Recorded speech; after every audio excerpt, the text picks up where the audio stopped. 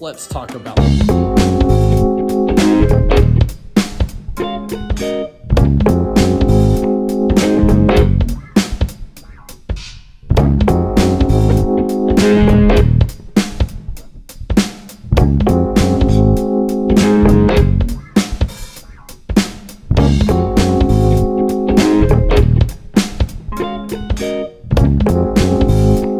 talk about the game, the rules, and some really, really cool changes.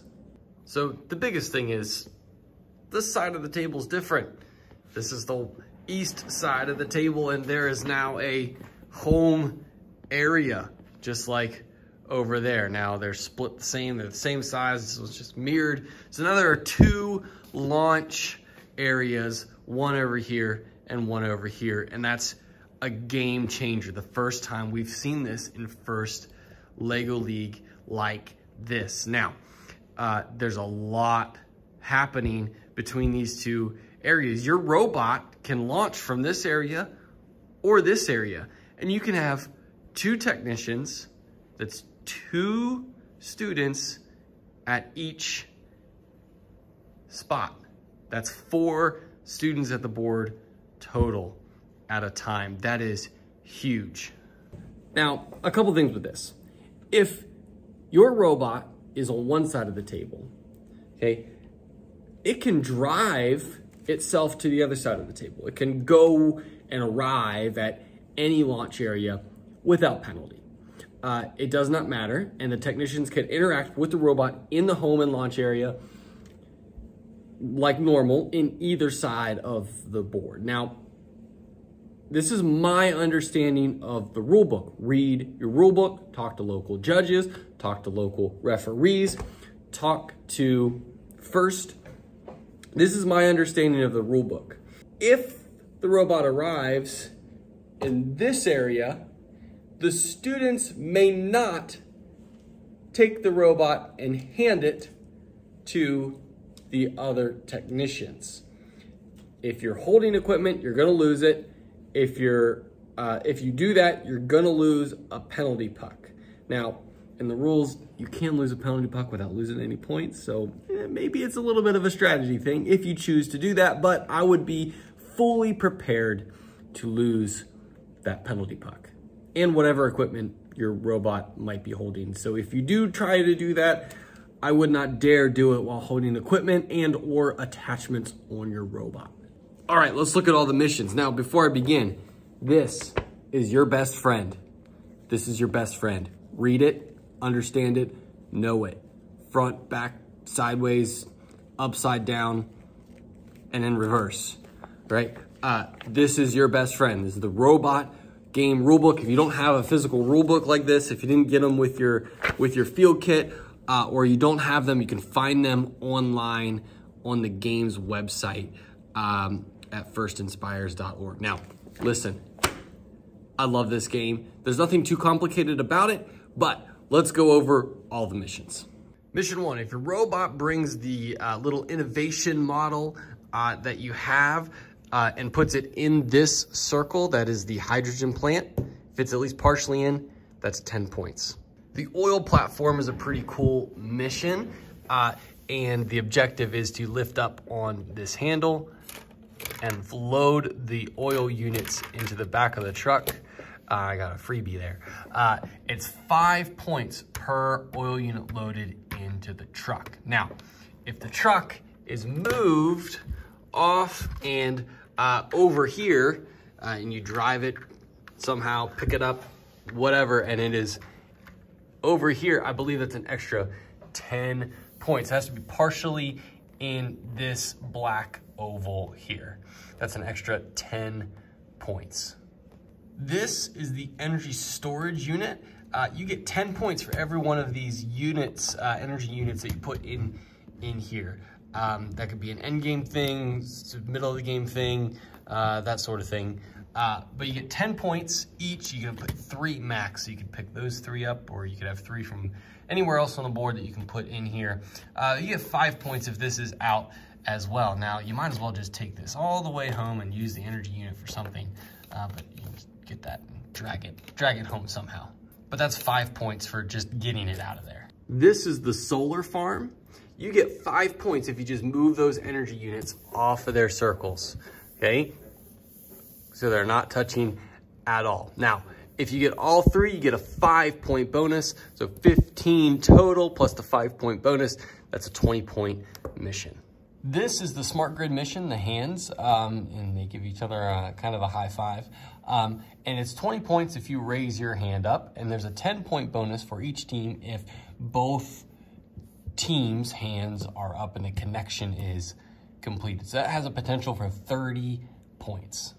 This is the hybrid car mission, and uh, you get 10 points if the car is no longer on the ramp. So if you just kind of pull the car off the ramp, but you also get, get 10 points if the energy unit or the, the uh, hybrid battery or engine or whatever that is, that you, this unit right here is in there. So you do that by pulling up on the lever and it goes in there and slides off. That's 10 points, total of 20 points.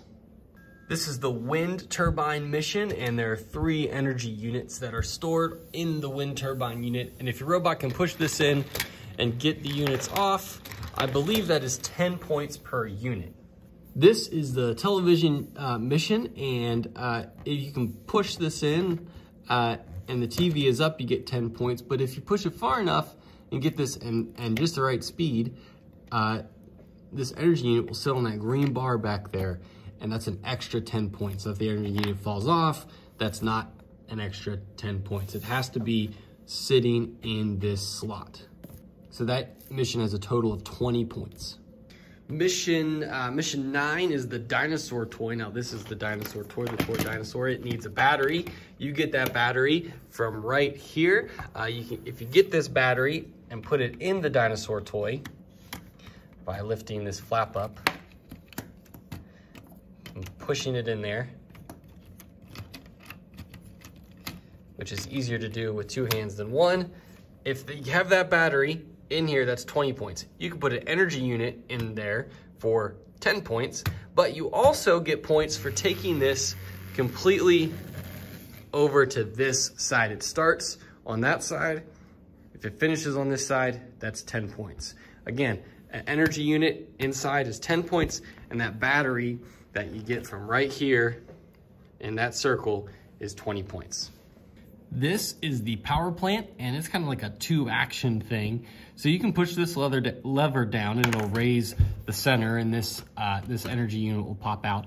Uh, but if you lift this up beforehand and then push that down, the other energy units fall out and uh, you have three energy units then you, you can use somewhere on the board. Now I will say that this is kind of persnickety.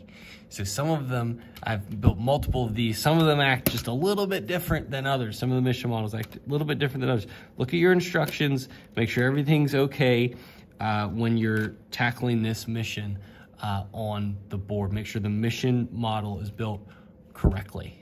The hydroelectric dam is a cool one. There is a lever up here that drops that water unit and it hits something and it pulls this out and uh, just like that. So that, if that scenario happens, that's 20 points. If this energy unit is no longer touching the dam, that is 20 points.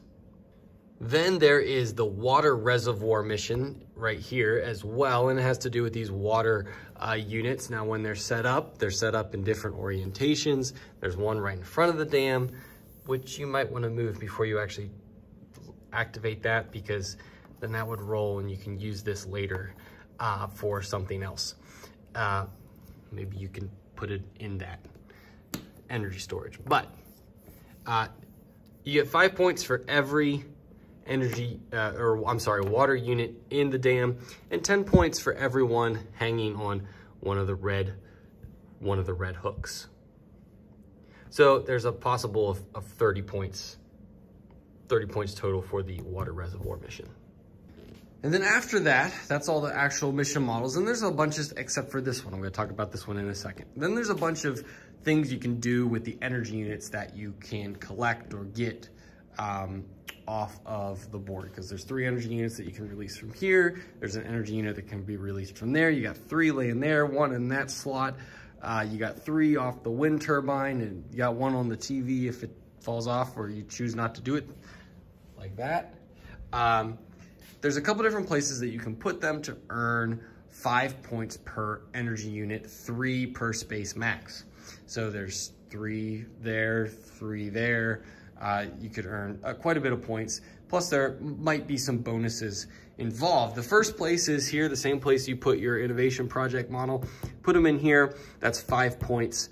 Uh, energy unit at endgame, uh, three max, okay? Max of three each. That's the Power to X mission, mission 13. Mission 14 is the Toy Factory. Uh, and uh, you can put energy units in the hopper.